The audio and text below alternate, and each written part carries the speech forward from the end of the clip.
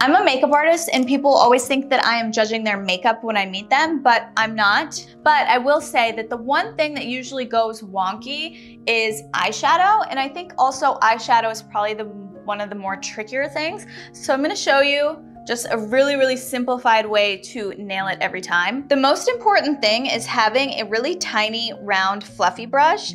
It doesn't have to be this small, but it definitely helps if you're a beginner. This is a What's Up Beauty R108. I believe these are on Amazon. So today I'm gonna stay pretty neutral and I'm gonna take this mid-tone here. And I do like to start with just a slightly lighter shade that is a little darker than my skin tone, but not necessarily the darkest shade. And then I'll just pull that into the crease. As a starting point, this should look like almost nothing. This is just gonna give some buffer for when we do go in with that darker color. You want to always apply things in a gradient if you don't know what you're doing. So that's the first step. And then you're gonna go ahead and pick your next darkest shade. So for me, it'll be this one right next to it and it's more of like a cool-ish brown color. Those sort of cool tones are really good to put right in the socket of the eye because it will shape the eye.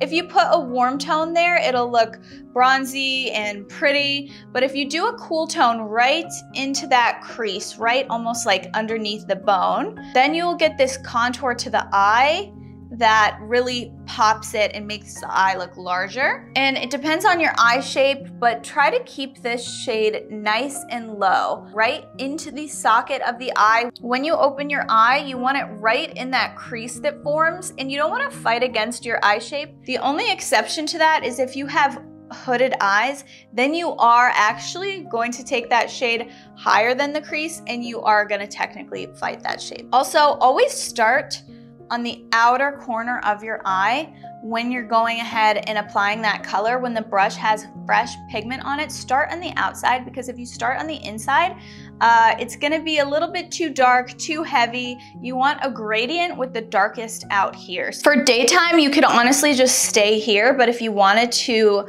darken it up then this is when you would go in with your deepest color. I'm gonna take a little bit of that rich brown there. Just a tiny amount on this brush and mind you we're still using the same brush and we're just gonna go right in that outer third of the eye now. And this time we're blending it down towards the outer corner of the eye. This is where we're gonna connect this. But this is kind of what makes it look more smoky and it connects everything together. Now I kind of blend as I go with this same brush because this is a blending brush.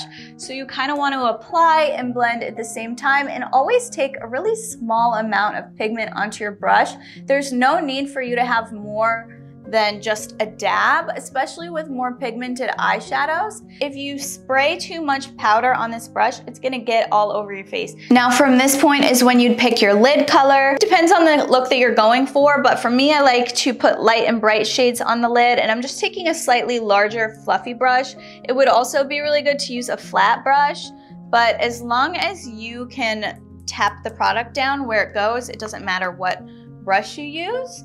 And I like to tap this right across the lid into that shade there and then I just kind of stop. There's usually not too much blending that has to be done there because these are all matte shades and we already kind of blended them out. It's like a highlighting and contouring method for the eye to make it look larger. If you want to stay matte, you can be done here. I prefer to stay matte, but if you want shimmer, this is now the point that you would do that.